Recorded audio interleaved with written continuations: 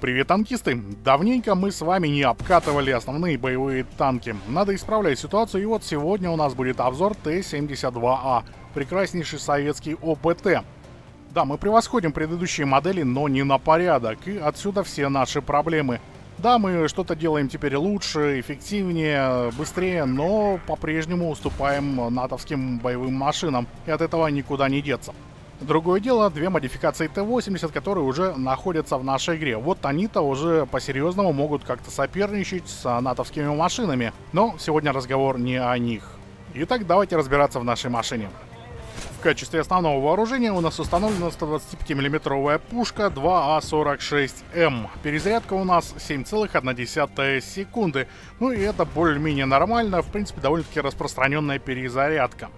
Основной боеприпас у меня это бронебойный оперенный подкалиберный снаряд 3БМ-15.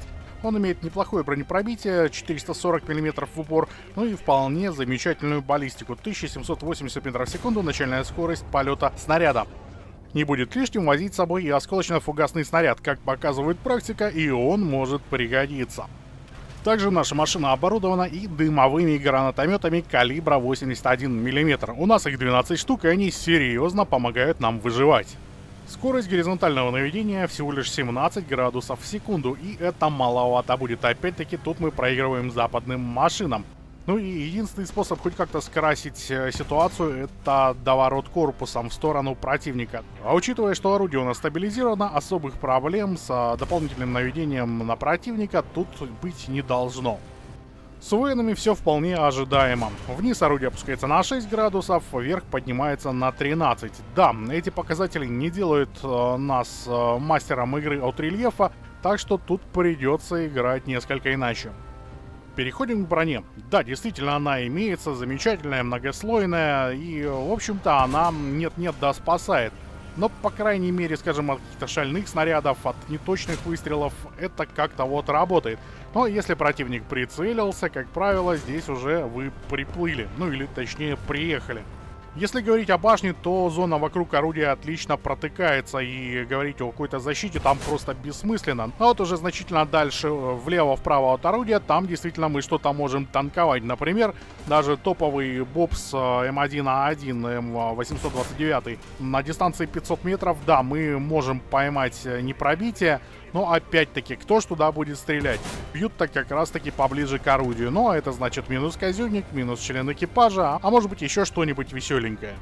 Тот же самый М829 на дистанции 500 метров прекрасно нас пробивает в ЛД, ну и, соответственно, в НЛД тоже.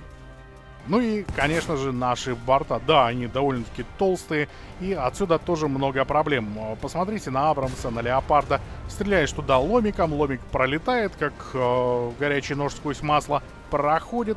И, в общем-то, танкисты просто отделываются легким испугом, открывают люки, проветривают, ну и дальше спокойно себе выносят вас. Ну а если в наш борт прилетает вражеский лом, то тут ничего хорошего не происходит. Образуется куча осколков, и они начинают наносить урон и экипажу, и оборудованию.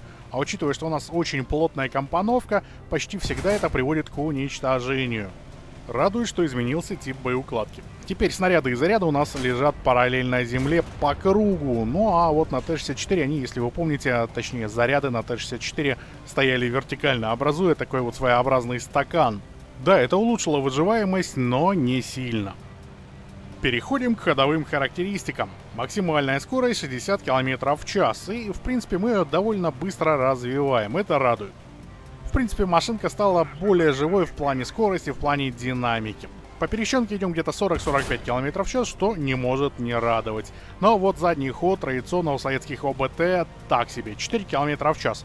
Это значит ровно одно. Уйти с позиции, скорее всего, не получится. Тут уж остается уповать на броню и удачу.